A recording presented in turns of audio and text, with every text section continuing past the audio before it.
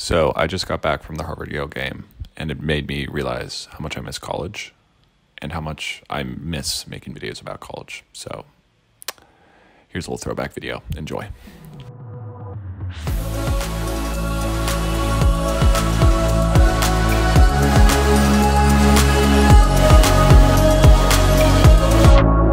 Hey guys, happy to be back with another video. Before we get into it, I know there have been a bunch of other YouTubers who have made a video very similar to this, so I want to give credit since I'm taking the idea. So I think it was initially Devon Crawford and then Jarvis also made one and a bunch of other YouTubers, so just wanted to give credit for that idea.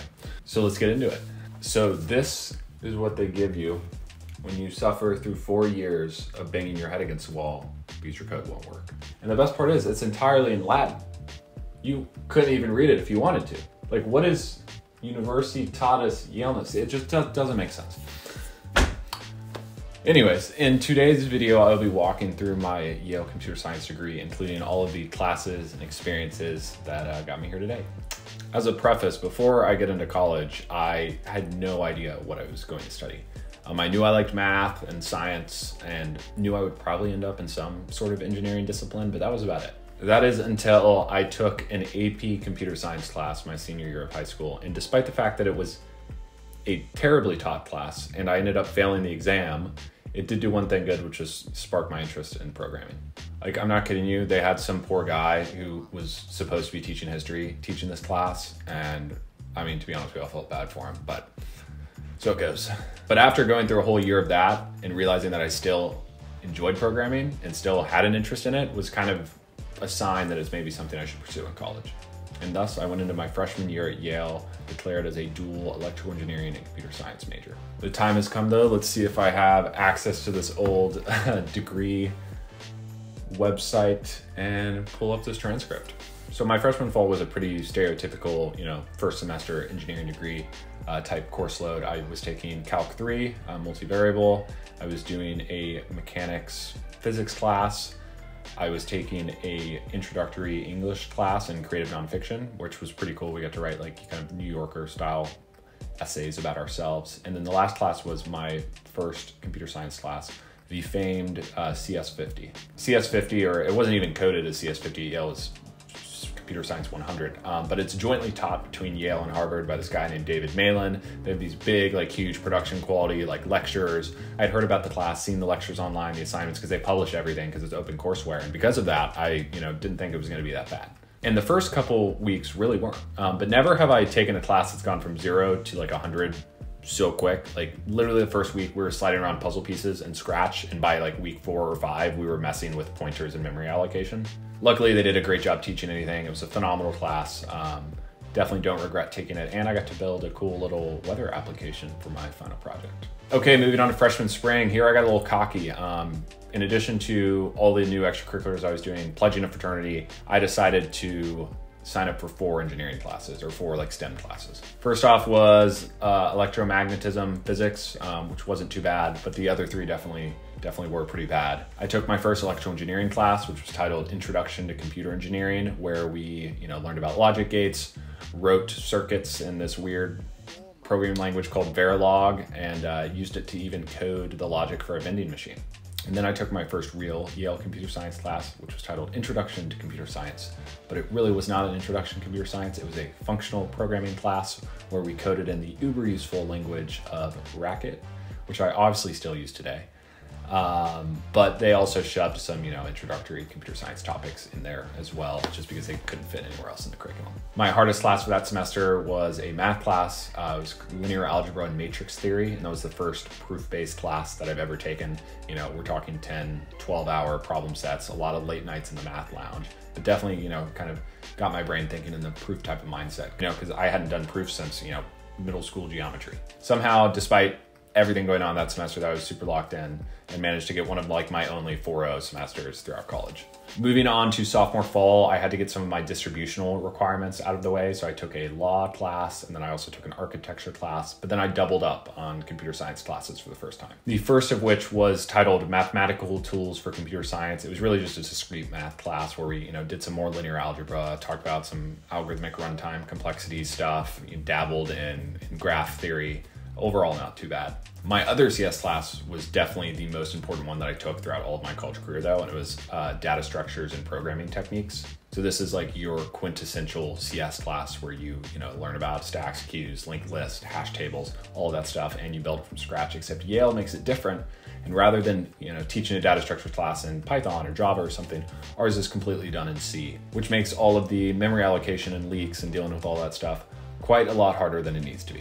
But so I had a grand time spending hours upon hours in Valgrind tracking down memory errors. Um, oh, and I also had a fifth class that semester, which was an electrical engineering class titled Communication Computation Control.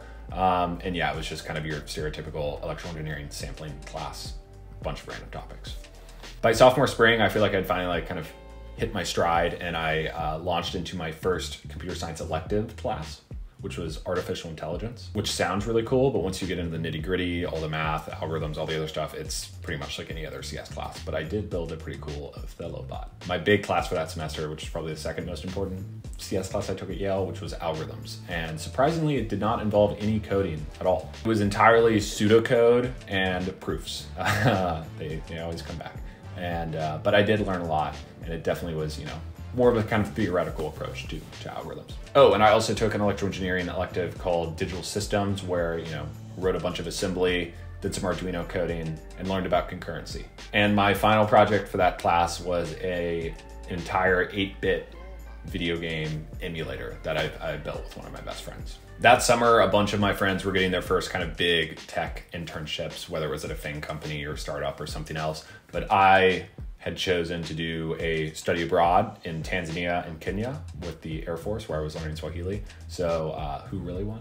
I think I did, but I was definitely really behind when I got back to school that fall. And with that, we're halfway done, and we've hit a pretty dark period, junior fall.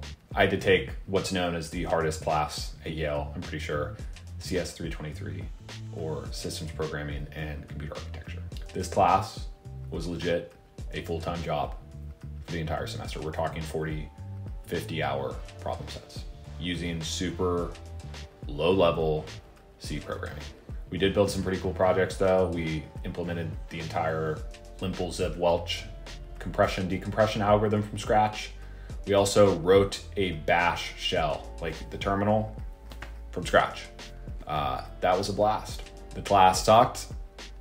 I didn't sleep a lot, but we made it through, and luckily I was able to pad it with kind of three slightly easier classes one of which was object oriented programming, where I got to learn C for the first time, internet engineering, which was an electrical engineering class that I honestly just took because the workload was super low, and my first global affairs class, which dealt with like intelligence and espionage. My junior spring wasn't too bad. I took computer networks, which was pretty much internet engineering again, except in the CS department now.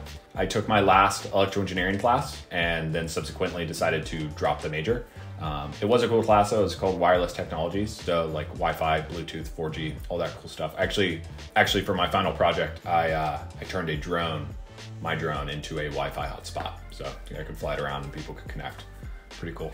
I also took a medical software design class where I worked with a urologist at the Yale medical school. We basically built an app that tracks how much you pee and uh, uses that to address, you know, those that, who have issues with urinary incontinence. Lastly, I took a cybersecurity seminar that was actually jointly taught with the law school, which was super cool, um, but definitely a little more writing than I would have liked. I spent the entirety of that following summer between junior and senior year working as a software development engineer intern at Amazon Web Services, which was kind of my first big step into the industry other than my student software job. Worked in the cryptography division, learned a lot, built some cool stuff that is published now.